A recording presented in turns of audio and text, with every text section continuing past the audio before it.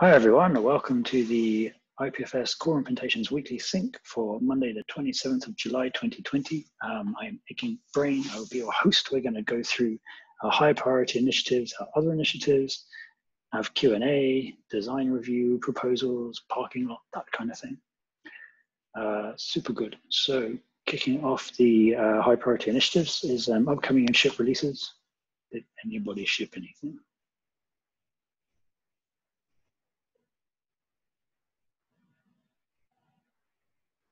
No. Uh, so to add, we do have a tracking issue for uh, Go IPFS 0.7. Um, I will add that, but that is not slated to release till later in August.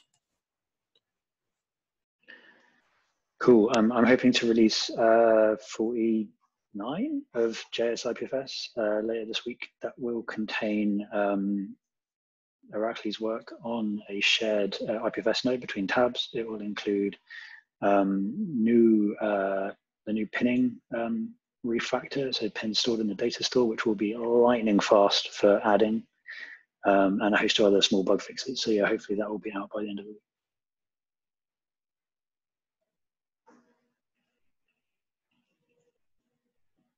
Um, so moving on to the next high priority initiative is the pinning services.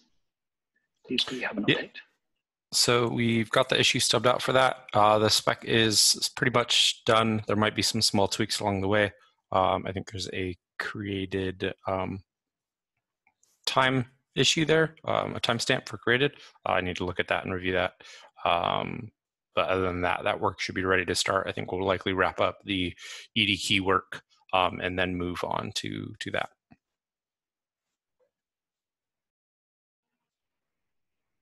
Awesome. Um, is there any further update on the ED25519 keys? Yes. Uh, there we were, well, words. Um, there was an issue. We were, or currently, sorry, brain. Sharness tests are fixed. Um, now we're looking at uh, Patar's got a PR open for finishing up the uh, keys as base 36 by default. Um, there was some nice to haves that I think Adin was looking at in terms of um, peer IDs base 36 CIDs. Um, Adin, did you want to talk about that? Yeah, I think we're likely going to leave the peer IDs as being emitted as base 58 multi-hashes by default, but we definitely need to make Go multi-adder parse base 36 or parse CIDs. Um, so yeah, just so that we can do this in the future with with less problems.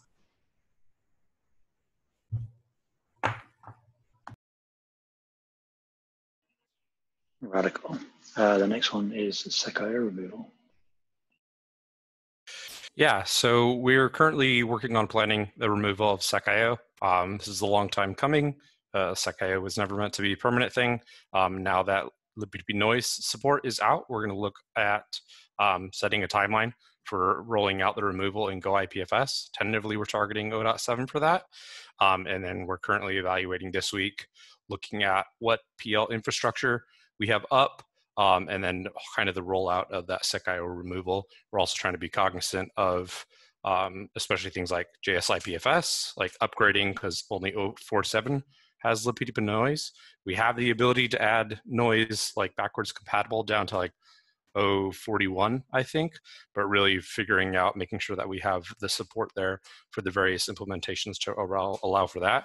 So we're, we're going to be working this week on um, communication of that, what the rollout plan looks like for that, and then trying to help support um, teams with upgrading either just updating configs, like so for example, using OrbitDB, like if you're gonna, right now I think it's still on 046, so in theory, you can just plug in libp noise to that version of IPFS, but making sure that there's a clear path for people to be able to do that, we want to make sure that we we have that support. So we're evaluating that this week.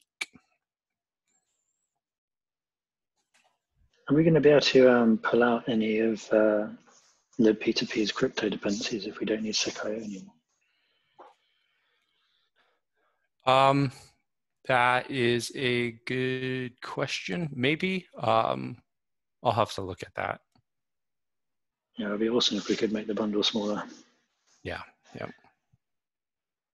Cool. Uh, next up, the Rust IPFS initiative. Lots of lots of activity here. Hey everybody. Uh, yeah.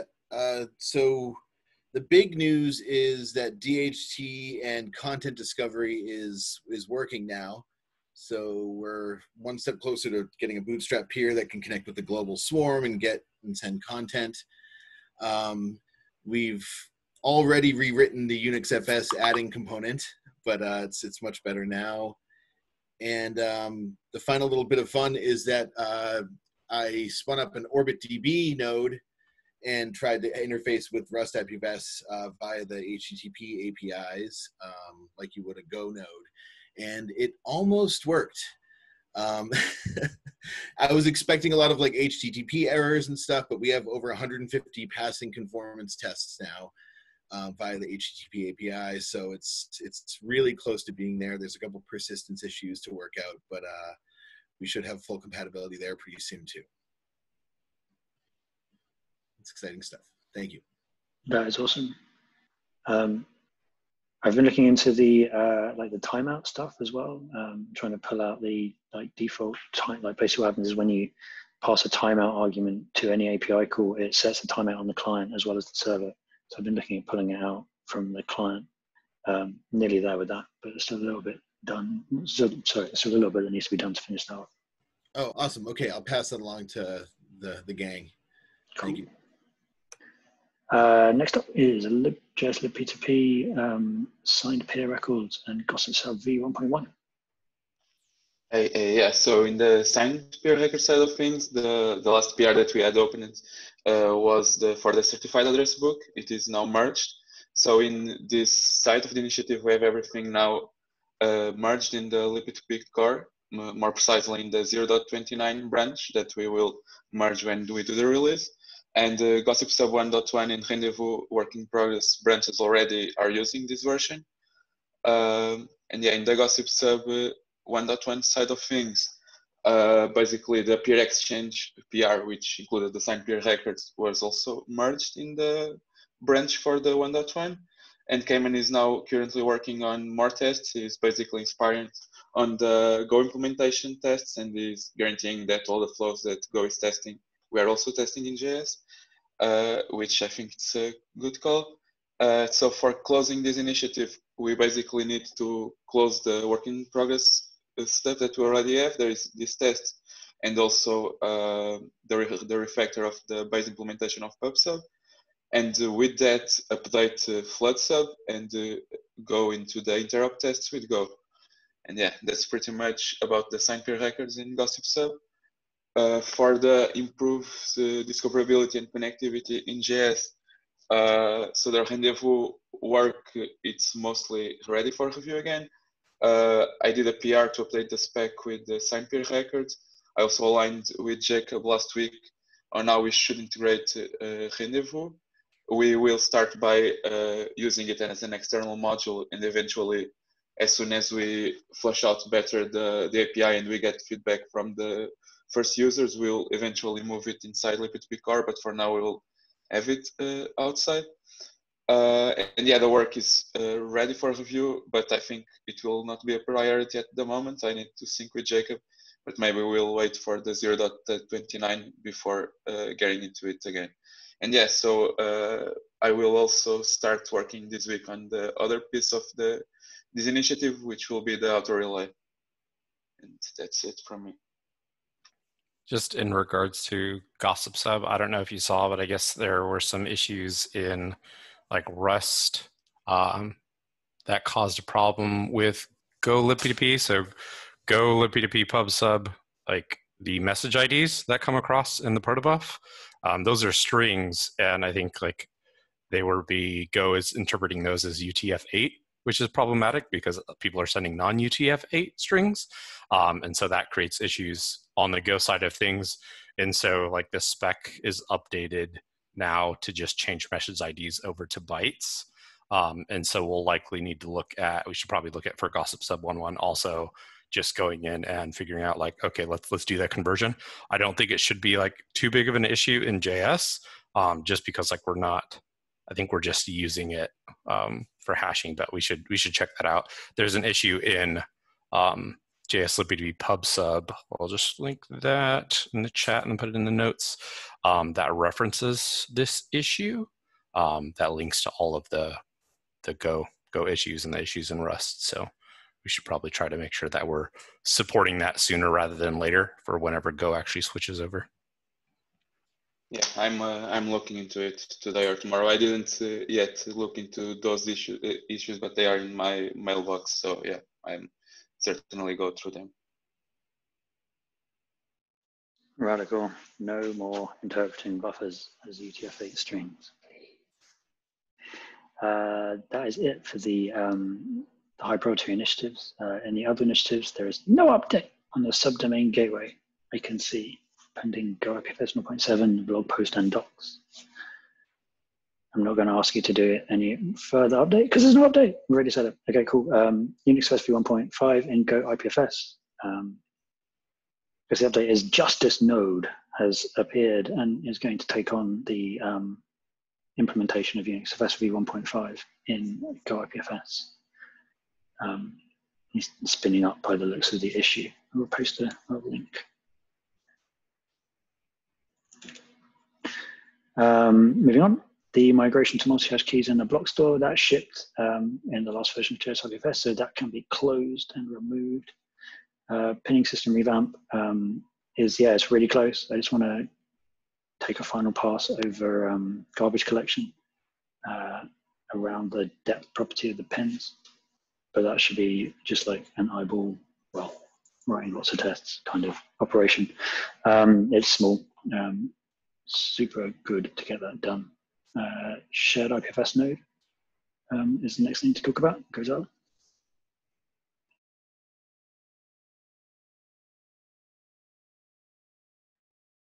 Okay, sorry, I'm muted. Um, yeah, it's landed. I'm very excited. Uh, thanks, Alex, for reviewing and landing. Um, there will be more work happening on that. Uh, uh, namely, I'm I've been mentioning in a couple of weeks ago, I think, idea of doing IPLD with replication. Uh, so I've been having conversations with textile team uh, to figure out how to proceed with that experiment. And I think we want to move the IPFS Lite into the one of the protocol labs organization. Uh, I think I was suggested to do the IPFS org, but I need to figure out who can do the thing because I don't think I have a privileges myself. Um, and so part of the work would be try to make uh, this work compatible with IPFS Lite as well, so it can work with either IPFS. Um, then the next one is improving web file add. Uh, that is something that Alex took over and uh, landed the improvements to the JS IPFS. Uh, and I'm going to update the web UI pull requests that I have there to take advantage of those.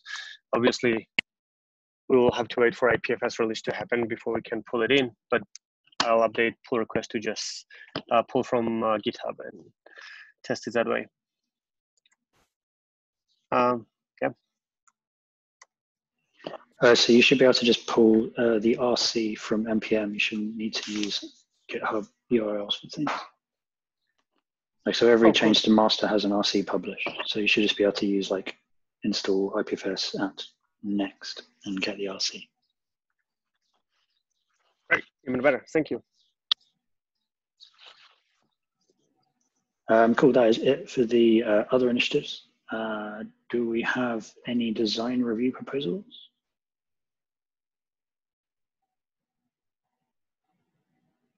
Uh, blockers and asks. Questions? Yeah, uh, yeah. So I guess a few questions and and one comment. Uh, the comment is that uh, someone in HackFS was trying to um, basically like just be a DHT server node and listen in on content that they hear about and then try to fetch the content as like a caching mechanism. But because GoIPFS has not yet done the multi-hash block store migration, this is like annoying because the DHT only stores multi-hashes and you need to request CIDs, um, which means you sort of have to send multiple requests to get your data. So uh, there, are, there are multiple reasons to not punt on the GoIPFS multi-hash thing indefinitely.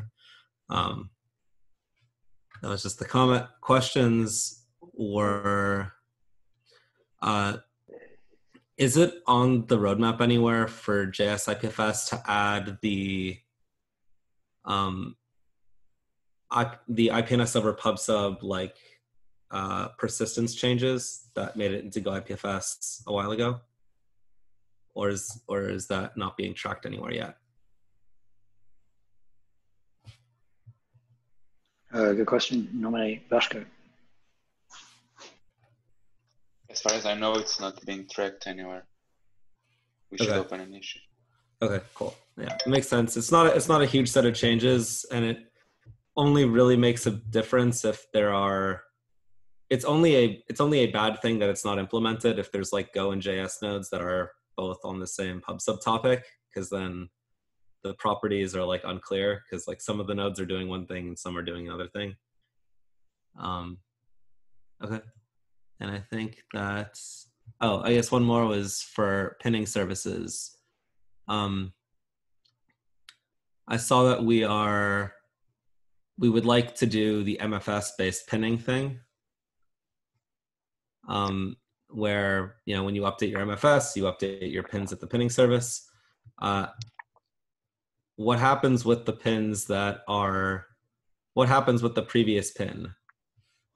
Um, how does how do you know when you can garbage collect it or the pinning service does does it just get deleted and it's the pinning service's problem if they want to keep it around longer Yeah, so um, in the pinning service API, there's an update and operation, which is sort of like a porcelain on top of remove old one and create totally new one, which reuses the same metadata.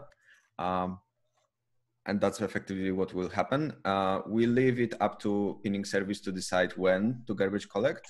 Uh, the way this works is the moment you update uh, that pin, the all you you you are no longer guaranteed that the old pin is provided. So if you change the pin to a different CID, you no longer can assume the data is uh, for the old CID is still around. But if you just change metadata, like nothing changes effectively. okay so you would update it to have some sort of like decay like don't store me indefinitely store me for a week or something is that how because how what am i updating it to if not deleting it Yeah, that's that's a good question. So uh, the billing itself is not a part of the spec right now. Uh, there's an open PR to add a creation date, which could be used by pinning service to uh, reason or like create some like billing logic, but it's like not really part of the spec. It's not like when you pin something, you don't. Uh, there are no uh, convention, at least not in the spec. For I want to pin this for a week uh, that could be something that pinning service uh, like they uh, each pinning service could have the, their own logic uh, to like override the default behavior but the assumption is that like there will be a default behavior which user assigns to the api token and uh, just use of that token would mean you won't use those defaults uh, as i'm trying to understand like what it would mean when I update to a, a new pin, so I want the new version to pin for sure, and the old one maybe less so. How do I flag that? Do I flag that by a deletion or by something else?